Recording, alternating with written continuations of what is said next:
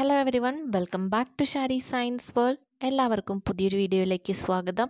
അപ്പോൾ ഇന്നത്തെ വീഡിയോയിൽ നമ്മൾ ഡിസ്കസ് ചെയ്യുന്ന ടോപ്പിക് റിപ്രൊഡക്ഷൻ ഇൻ പ്ലാന്റ്സ് അപ്പോൾ ഫസ്റ്റ് തന്നെ നമുക്ക് ഏതൊക്കെയാണ് രണ്ട് types of reproduction modes of reproduction in plants asexual reproduction and sexual reproduction രണ്ട് ടൈപ്പ് റിപ്രൊഡക്ഷൻ പ്ലാന്റ്സിൽ കാണുന്നുണ്ട് asexual and sexual asexual reproduction എന്ന് പറഞ്ഞു കഴിഞ്ഞാൽ new plants are obtain without the production of seeds seeds produce ചെയ്യാതെ new plants കിട്ടുന്നതിനെയാണ് നമ്മൾ asexual reproduction എന്ന് പറയുന്നത്. അതിനൊരു എക്സാമ്പിളാണ് വെജിറ്റേറ്റീവ് പ്രൊപ്പഗേഷൻ എന്ന് പറയുന്നത്. അപ്പോൾ അസെക്ഷൽ റിപ്രൊഡക്ഷനിൽ വരുന്നതാണ് വെജിറ്റേറ്റീവ് പ്രൊപ്പഗേഷൻ അതായത് വെജിറ്റേറ്റീവ് പാർട്സ് എന്നാണ് ന്യൂ പ്ലാന്റ്സ് അറൈവ് ചെയ്യുന്നത്. അതായത് സ്റ്റെമ്മ് റൂട്ട് ലീഫ് ബഡ് ഇങ്ങനെ പ്ലാന്റിന്റെ വെജിറ്റേറ്റീവ് പാർട്സ് നിന്ന് ന്യൂ പ്ലാന്റ്സ് ഉണ്ടാക്കിയെടുക്കുന്നതാണ് അസെക്ഷൽ മോഡ്സ് ഓഫ് റിപ്രൊഡക്ഷൻ എന്ന് പറയുന്നത്. ക്ലിയർ ആയല്ലോ? അതേപോലെ വേറെ ഉണ്ട് നമുക്ക് സ്പോസ് ഫോം ചെയ്തിട്ടുണ്ടാവുന്നതുണ്ട്. അതായത് വെജിറ്റേറ്റീവ് പ്രൊപ്പഗേഷൻ അല്ലാതെയുണ്ട്. സ്പോസ് ഫോം ചെയ്തിട്ടുണ്ടാവുന്ന റിപ്രൊഡക്ഷൻ ഉണ്ട്. ഓക്കെ ദെൻ സെക്ഷൽ റിപ്രൊഡക്ഷൻ ആണ്. സെക്ഷൽ റിപ്രൊഡക്ഷൻ എക്സാമ്പിൾ ഫ്ലവറാണ് പ്ലാന്റിന്റെ സെക്ഷൽ റിപ്രൊഡക്റ്റീവ് ഓർഗൻ എന്ന് പറയുന്നത്. New plants are obtain from seeds അതായത് അവിടെ സീഡ് ഫോർമേഷൻ നടക്കുന്നുണ്ട്. സീഡിൽ നിന്നാണ് നമുക്ക് പുതിയൊരു പ്ലാന്റ് ഡെവലപ്പ് ചെയ്യുന്നത്. അപ്പോൾ ആ സീഡ് ഫോം ചെയ്യുന്നെങ്കിൽ അവിടെ ഫെർട്ടിലൈസേഷൻ എന്ന് പറഞ്ഞിട്ടുള്ള പ്രോസസ്സ് നടക്കുന്നുണ്ട്. അപ്പോൾ new plants arrive as a result of fertilization. That is sexual reproduction. Okay അപ്പോൾ നമ്മൾ പറഞ്ഞു ഫ്ലവർ ആണ് മെയിൻ പാർട്ട് അതായത് റിപ്രൊഡക്റ്റീവ് ഓർഗൻ എന്ന് പറഞ്ഞു. ഫ്ലവറിന്റെ പാർട്സ് ഇതൊക്കെ എല്ലാവർക്കും അറിയുന്നതായിരിക്കും അല്ലേ? സ്റ്റിഗ്മ സ്റ്റൈൽ ഓവറി ഇതാണ് നമ്മളുടെ പിസ്റ്റിൽ എന്ന് പറയുന്നത് ഫീമെയിൽ റിപ്രൊഡക്റ്റീവ് പാർട്ട് പിസ്റ്റിലാണ് ഫീമെയിൽ റിപ്രൊഡക്റ്റീവ് പാർട്ട്. പിസ്റ്റിലിന്റെ ഭാഗങ്ങൾ കണ്ടല്ലോ. Stigma style and ovary. അതേപോലെ സ്റ്റേമൻ ആണ് നമ്മളുടെ male reproductive part anther filament ഇത് രണ്ടും സ്റ്റേമന്റെ പാർട്സ് ആണ്. ഓക്കെ. ദെൻ പിസ്റ്റിൽ തന്നെ നമ്മളുടെ പൊള്ളൻ ട്യൂബ്. ദെൻ പെറ്റൽ അതൊക്കെ നിങ്ങൾക്ക് എല്ലാവർക്കും അറിയുന്നതായിരിക്കും. പെറ്റൽ അതേപോലെ റെസെപ്റ്റക്ക് സെപ്പൽസ് പെഡിസൽ. പെഡിസൽ എന്ന് പറഞ്ഞു കഴിഞ്ഞാൽ അതിന്റെ ആ പിടി ദെൻ അതിന്റെ മുകളിൽ വരുന്ന ഗ്രീൻ ലീഫ് ലൈക്ക് സ്ട്രക്ചേഴ്സ് ആണ്. സെപ്പൽസ് റിസെപ്റ്റക്കൽ എന്ന് പറഞ്ഞു കഴിഞ്ഞാൽ ആ ഫ്ല ഫ്ലവറിൽ ലൊക്കേറ്റ് ചെയ്തിരിക്കുന്ന ആ ഒരു പരന്ന ഭാഗം ഉണ്ടല്ലോ അതിനെയാണ് റിസെപ്റ്റക്കൽ എന്ന് പറയുന്നത്. പിന്നെ ഈ ഓവ്യൂൾ എന്ന് പറയുന്നത് ഇതിന്റെ നമ്മളുടെ ഓവറിയുടെ ഉള്ളിലുള്ള അറകളെയാണ് നമ്മൾ ഓവ്യൂൾസ് എന്ന് പറയുന്നത്. ചെറിയ ലോബ്സ് പ്രസന്റ് ആണ് ഓവറിയുടെ ഉള്ളിൽ ഇപ്പം നമ്മൾ ചെമ്പരത്തിപ്പൂവൊക്കെ പൊളിച്ച് നോക്കി അറിയാം. അതിൽ അഞ്ച് ലോബ്സ് ഉണ്ടായിരിക്കും. അപ്പോൾ ഇതിന്റെ ഉള്ളിൽ കാണുന്ന ആ ലോബ്സിനെയാണ് നമ്മൾ ഓവ്യൂൾസ് എന്ന് പറയുന്നത്. പെറ്റൽസ് എന്ന് പറഞ്ഞു കഴിഞ്ഞാൽ അതിന്റെ എതളുകൾ ഇത്രയാണ് നമ്മളുടെ ഒരു ഫ്ലവറിന്റെ പാർട്സ് എന്ന് പറയുന്നത്. ഇനി ഫ്ലവർ രണ്ട് ടൈപ്പ് ഉണ്ട്. Bisexual flower and unisexual flower bisexual flower എന്ന് പറഞ്ഞു കഴിഞ്ഞാൽ അതിൽ മെയിൽ റിപ്രൊഡക്റ്റീവ് ഓർഗനും ഫീമെയിൽ റിപ്രൊഡക്റ്റീവ് ഓർഗനും അതായത് പിസ്റ്റിലും സ്റ്റേമനും ഒരുമിച്ച് ഒരൊറ്റ ഫ്ലവറിൽ കാണുന്നതാണ് ബൈസെക്ഷൽ ഫ്ലവർ എന്ന് പറയുന്നത്. ഫോർ എക്സാമ്പിൾ ചെമ്പരത്തി തന്നെ ബെസ്റ്റ് എക്സാമ്പിളാണ് അതേപോലെ ഇതിൽ ഡറ്റ്യൂറ ഉമ്മം അതിന്റെ ഫ്ലവറാണ് കൊടുത്തിരിക്കുന്നത്. അതിൽ രണ്ടും സെയിം ഫ്ലവറിലാണ് കാണുന്നത്. അതേപോലെ യൂണിസെക്ഷൽ ഫ്ലവർ എന്ന് പറഞ്ഞു കഴിഞ്ഞാൽ രണ്ടും സെപ്പറേറ്റ് ഫ്ലവറിലാണ് അതായത് ആൻഡ്രീഷ്യം ഗൈനീഷ്യവും സെപ്പറേറ്റ് ഫ്ലവറിൽ കാണുന്നതാണ് യൂണിസെക്ഷൽ ഫ്ലവേഴ്സ് എന്ന് പറയുന്നത്. ഇതിൽ പപ്പായുടെ ആണ് അതേപോലെ നമ്മുടെ മത്തനും കുമ്പളനും ഇതൊക്കെ അങ്ങനെയാണ്. എല്ലാ ഫ്ലവറിലും നമുക്ക് കായ ഉണ്ടാവില്ല. അപ്പോൾ ആ ഗൈനീഷ്യം ഉള്ള ഫ്ലവറിൽ മാത്രമേ കായ ഉണ്ടാവുള്ളൂ. സ്റ്റേമൻ എന്ന് പറയുന്നത് മെയിൽ റിപ്രൊഡക്റ്റീവ് ഓർഗനാണ് അത് മെയിൽ ഫ്ലവറാണ് ഓക്കെ ക്ലിയർ ആയാലോ രണ്ട് ടൈപ്പ് ഓഫ് ഫ്ലവേഴ്സ് ഇനി പോളിനേഷൻ അപ്പോൾ ഫ്ലവേഴ്സ് പറഞ്ഞു റിപ്രൊഡക്റ്റീവ് ഓർഗനാണ് ഇനി ഫെർട്ടിലൈസേഷൻ നടക്കണമെങ്കിൽ എന്ത് വേണം? പോളിനേഷൻ വേണം പരാഗണം. Pollination is the act of transferring pollen grains from the male end of a flower to the female stigma അതായത് പൊള്ളൻ ഗ്രെയിൻസ് മെയിൽ ആന്തറിൽ നിന്ന് ഫീമെയിൽ സ്റ്റിക്മയിലേക്ക് ട്രാൻസ്ഫർ ചെയ്യുന്ന പ്രോസസ്സിനെയാണ് പോളിനേഷൻ എന്ന് പറയുന്നത്. അതായത് മെയിൽ ഫ്ലവറിൽ നിന്ന് ഫീമെയിൽ ഫ്ലവറിലേക്ക് പൊള്ളൻ ഗ്രെയിൻസ് ട്രാൻസ്ഫർ ചെയ്യുക ഇനി രണ്ടും ഒരേ ഫ്ലവറിൽ തന്നെ ഉണ്ടെങ്കിൽ സ്റ്റേമെന്ന് പിസ്റ്റിലേക്ക് പൊള്ളൻ ഗ്രെയിൻസ് ട്രാൻസ്ഫർ ചെയ്യുക ഇതിനെയാണ് നമ്മൾ പോളിനേഷൻ എന്ന് പറയുന്നത്. അപ്പോൾ ഈ പോളിനേഷൻ മനസ്സിലായല്ലോ? എങ്ങനെയാണ് പോളിനേഷൻ നടക്കുന്നത്? അതിന് കുറേ ഏജൻസ് ഒക്കെ ഉണ്ട്. അപ്പം നമ്മൾ വണ്ടുകൾ പൂമ്പാറ്റകൾ അവരുടെയൊക്കെ കാലുമൊക്കെ പറ്റിപ്പിടിച്ചിരിക്കുന്ന സ്റ്റേമൻ. അപ്പുറത്തെ ഫ്ലവറിന്റെ പിസ്റ്റിലിൽ വന്ന് പതിക്കുമ്പോഴാണ് അവിടെ പോളിനേഷൻ നടക്കുന്നത്. ഓക്കെ. അപ്പോൾ ഇത് രണ്ട് ടൈപ്പ് ഉണ്ട്. പോളിനേഷൻ സെൽഫ് പോളിനേഷനും ഉണ്ട്. ക്രോസ് പോളിനേഷനും ഉണ്ട്. സെൽഫ് പോളിനേഷൻ എന്ന് പറഞ്ഞു കഴിഞ്ഞാൽ സെയിം ഫ്ലവറാണ് ഒരു ഫ്ലവറിന്റെ തന്നെ സ്റ്റേമെന്ന് അതിന്റെ തന്നെ പിസ്റ്റിലേക്ക് ഇത് വീഴുന്നത്. അതായത് സ്റ്റേ ആ രണ്ട് ഒരേ ഫ്ലവറിൽ നടക്കുന്ന ട്രാൻസ്ഫർ ഓഫ് പൊള്ളൻസ് ആണ് സെൽഫ് പോളിനേഷൻ എന്ന് പറയുന്നത്. ഇതിൽ കൊടുത്തിരിക്കുന്ന ആദ്യത്തെ പിക്ചർ കേട്ടോ നെക്സ്റ്റ് ക്രോസ് പോളിനേഷൻ എന്ന് പറഞ്ഞു കഴിഞ്ഞാൽ രണ്ട് ഫ്ലവേഴ്സ് തമ്മിൽ അത് സെയിം പ്ലാന്റത്തെ ആവാം.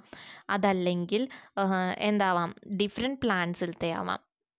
ഒരു ഫ്ലവറിൽ നിന്ന് മറ്റൊരു ഫ്ലവറിലേക്ക് ട്രാൻസ്ഫർ ചെയ്യുന്നതിനെയാണ് ക്രോസ് പോളിനേഷൻ എന്ന് പറയുന്നത്. ക്ലിയർ ആയല്ലോ? ഇനി ഏജൻസ് ഓഫ് പോളിനേഷൻ ആണ്. പോളിനേറ്റിംഗ് ഏജൻസ് എബയോട്ടിക് ഉണ്ട് ബയോട്ടിക് ഉണ്ട്. എബയോട്ടിക് ഫാക്ടേഴ്സാണ് വിൻഡും വാട്ടറും നമുക്ക് കാറ്റിലൂടെ പറന്നു പോവാം അതേപോലെ വെള്ളത്തിലൂടെ പൊളൻ ഗ്രെയിൻസ് ട്രാൻസ്ഫർ ചെയ്യാം. ബയോട്ടിക് ഫാക്ടേഴ്സാണ് ബേർഡ്സ് ഇൻസെക്ട്സ് റെപ്റ്റൈൽസ് മാമൽസ് ഇതെല്ലാം ബയോട്ടിക് ഫാക്ടേഴ്സാണ് ബേർഡ്സ് വഴി അതേപോലെ തേനീച്ച അങ്ങനത്തെ ജീവികൾ വഴി ഇൻസെക്ട്സ് വഴി റെപ്റ്റൈൽസ് വഴി വരാം. അതേപോലെ മാമൽസ് വഴി ഒക്കെ നമുക്ക് പൊള്ളൻ ഗ്രെയിൻസ് ട്രാൻസ്ഫർ ചെയ്യാം. അപ്പോൾ ഇവരൊക്കെയാണ് പോളിനേഷൻ ഏജൻസ് എന്ന് പറയുന്നത്.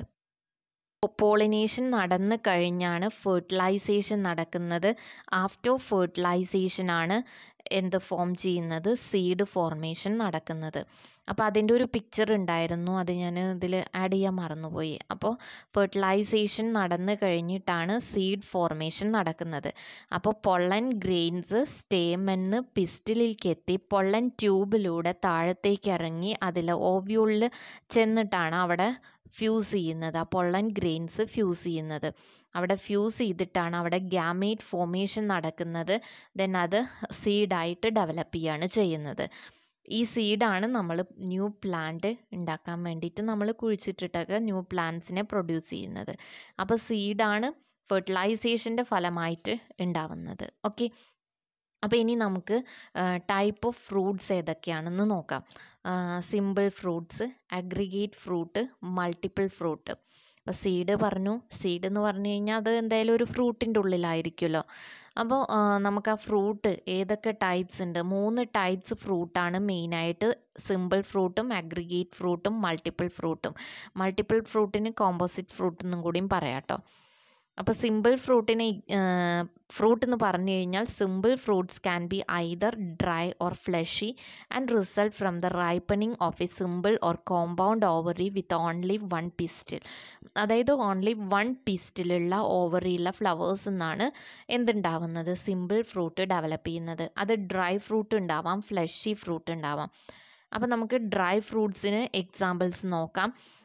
കുറേ ഉണ്ട് കേട്ടോ ജസ്റ്റ് പേരുകളൊന്ന് നോക്കി പോവാം. അക്കീൻ ബട്ടർ കപ്പ് എന്ന് പറഞ്ഞിട്ടുള്ള ഫ്രൂട്ടാണ് capsule Brazil nut caryopsis wheat fibrous drupe coconut follicle milkweed legume ഇതൊക്കെ നമുക്ക് കോമൺ ആണ്. ലഗ്യൂമും കാരിയോപ്സിസൊക്കെ നമ്മൾ കേട്ടിട്ടുണ്ടാവും. Pea bean peanut loment loment നമ്മുടെ തൊട്ടാവാടിയുടെയൊക്കെ പൂ പൂ ഫ്രൂട്ട് ലൊമന്റ് ആണ് കേട്ടോ nut hazel nut beech oak acorn samara അതേപോലെ schizocarp silique silicle utricle just പേരുകളൊന്നും ഓർത്ത് വെക്കുക കേട്ടോ ചോദിക്കുമെന്നൊന്നും അറിയില്ല എന്തായാലും പേരുകളൊന്നും ഓർത്ത് വെക്കുക ഇത് ഡ്രൈ ഫ്രൂട്ട്സ് ആണ്. സിമ്പിൾ ഡ്രൈ ഫ്രൂട്ട്സ് ആണ്. ഇനി സിമ്പിൾ ഫ്ലഷി ഫ്രൂട്ട്സ് ഉണ്ട്. ബെറി. ബെറിയിൽ പെടുന്നതാണ് ടൊമാറ്റോ അവക്കാഡോ ഒക്കെ. അതേപോലെ സ്റ്റോൺ ഫ്രൂട്ട് ഡ്രൂപ്പ്. പ്ലമ്മും ചെറിയും ഒക്കെ സ്റ്റോൺ ഫ്രൂട്ട് ഡ്രൂപ്പാണ് അതേപോലെ ഫാൾസ് ബെറി ആക്സസറി ഫ്രൂട്ട്സ് ആണ്. ബനാന ക്രാൻബെറി ഒക്കെയാണ് അതിന് എക്സാമ്പിൾ പോം ആക്സസറി ഫ്രൂട്ടാണ് ആപ്പിളും പിയറുമാണ് അതിന് എക്സാമ്പിൾ ഓക്കെ അപ്പോൾ സിമ്പിൾ ഫ്രൂട്ട്സ് ക്ലിയർ ആയല്ലോ. ഇനി അഗ്രിഗേറ്റ് ഫ്രൂട്ടാണ് an aggregate fruit or etaerio എന്ന് പറയും കേട്ടോ അതിന്. Develops from a flower with numerous simple pistils numerous pistils ഉള്ള ഒരു ഇതെന്നാണ് അഗ്രിഗേറ്റ് ഫ്രൂട്ട് ഡെവലപ്പ് ചെയ്യുന്നത് റാസ്ബെറിയും സ്ട്രോബെറിയാണ് അഗ്രിഗേറ്റ് ഫ്രൂട്ടിന് എക്സാമ്പിൾ കേട്ടോ അറിയാലോ? സ്ട്രോബെറിയൊക്കെ കണ്ടിട്ടുണ്ടായിരിക്കും. നെക്സ്റ്റ് മൾട്ടിപ്പിൾ ഫ്രൂട്ട് ആണ്. Multiple fruit is one formed from cluster of flowers ഒരു കൂട്ടം ഫ്ലവേഴ്സ് നിന്നാണ് മൾട്ടിപ്പിൾ ഫ്രൂട്ട് ഉണ്ടാവുന്നത്. അതായത് ഒരു ഇൻഫ്ലോറസെൻസ് എന്ന് പറയും. അതിൽ നിന്നാണ് ഒരു മൾട്ടിപ്പിൾ ഫ്രൂട്ട് ഡെവലപ്പ് ചെയ്യുന്നത്. Each flower produces a fruit അതിന്റെ ഉള്ളിൽ ഓരോ ഫ്ലവറും ഓരോ ഫ്രൂട്ട് പ്രൊഡ്യൂസ് ചെയ്യും. പക്ഷേ അതെല്ലാം പാടെ ഒരൊറ്റ ഇതിന്റെ ഉള്ളിലായിരിക്കും. എക്സാമ്പിൾസ് അറിയാലോ. പൈനാപ്പിൾ ജാക്ക് ഫ്രൂട്ട് ഇതൊക്കെ മൾട്ടിപ്പിൾ ഫ്രൂട്ടിന് എക്സാമ്പിളാണ് കേട്ടോ pineapple edible fig mulberry osage orange and bread fruit ഇതൊക്കെ മൾട്ടിപ്പിൾ ഫ്രൂട്ടിന് എക്സാമ്പിളാണ് ഓക്കെ അപ്പോൾ ഇത്രയാണ് ടൈപ്സ് ഓഫ് ഫ്രൂട്ട്സ് ക്ലിയർ ആയല്ലോ? ഇനി നെക്സ്റ്റ് സീഡ് ഡിസ്പേഴ്സലാണ് സീഡ് ഡിസ്പേഴ്സൽ മെത്തേഡ്സ് ആണ് വിൻഡ് എക്സ്പെൽഷൻ ആനിമൽസ് വാട്ടർ. അപ്പോൾ വിൻഡ് വഴി സീഡ്സ് ഡിസ് ഡിസ്പേഴ്സ് ചെയ്യും. അതേപോലെ തന്നെ എക്സ്പെൽഷൻ ബേസ്റ്റിംഗ് വഴി ഡിസ്പോസൽ നടക്കുന്ന സീഡ്സ് ഉണ്ട് ആനിമൽസ് വഴി നടക്കുന്നതുണ്ട്. അതേപോലെ വാട്ടർ വഴി നടക്കുന്നതുണ്ട്. അപ്പോൾ അതിന് എക്സാമ്പിൾസ് ഇതത്ര ക്ലിയർ അല്ല തോന്നുന്നു അല്ലേ? ഇതാ എക്സാമ്പിൾസ് വിൻഡ് വഴി നടക്കുന്നതാണ് ഡെൻഡലിയോൺ മാപ്പിൾ ട്രീയുടെ മിൽക്ക് വീട്. ഇതൊക്കെ വിൻഡ് വഴിയാണ്. ബൈ അനിമൽസ് വഴിയാണ് ബഗർ ടിക്സ് സാൻബർ ബ്ലാക്ക്ബെറി. അതായത് അനിമൽസിന്റെ ബോഡിയിൽ ഒട്ടിപ്പിടിക്കുന്ന സീഡ്സ് ആണ്. നെക്സ്റ്റ് വാട്ടർ വഴി ലോട്ടസ് കെറ്റൈൽ അതേപോലെ കോക്കനട്ട്. വെള്ളത്തിൽ ഒഴുകി നടന്നിട്ട് ഡിസ്പോസൽ നടക്കുന്ന സീഡ്സ്. ബൈ ബേസ്റ്റിംഗ് ആണ് violet jewel jewelweed witch hazel അപ്പോൾ ഇത് നമുക്ക് അറിയാത്തതാണ് അല്ലേ നിങ്ങൾ ഓർത്താൽ മതി നമ്മളുടെ വെണ്ടയ്ക്കൊക്കെ ബേസ്റ്റിംഗ് വഴിയാണ് ഡിസ്പേഴ്സൽ നടക്കുക ഓക്കെ അപ്പോൾ ഇത്രയാണ് സീഡ് ഡിസ്പേഴ്സൽ മെത്തേഡ്സ് എന്ന് പറയുന്നത്. ക്ലിയർ ആയല്ലോ? അപ്പം നിങ്ങളുടെ സിലബസിൽ ഇത്രയും ടോപ്പിക്സാണ് എടുത്ത് പറഞ്ഞിട്ടുള്ളത്. അതിൽ ഫെർട്ടിലൈസേഷനൊന്നും അങ്ങനെ എടുത്ത് പറഞ്ഞിട്ടില്ല. അതുകൊണ്ടാണ് ഞാനത് ഡീറ്റെയിൽ ആയിട്ട് എക്സ്പ്ലെയിൻ ചെയ്യാഞ്ഞത് കേട്ടോ. ഓക്കെ. അപ്പോൾ എല്ലാവർക്കും ടോപ്പിക്ക് ക്ലിയർ ആയെന്ന് വിചാരിക്കുന്നു. നമുക്ക് പുതിയൊരു ടോപ്പിക്കുമായി വീണ്ടും കാണാം. താങ്ക്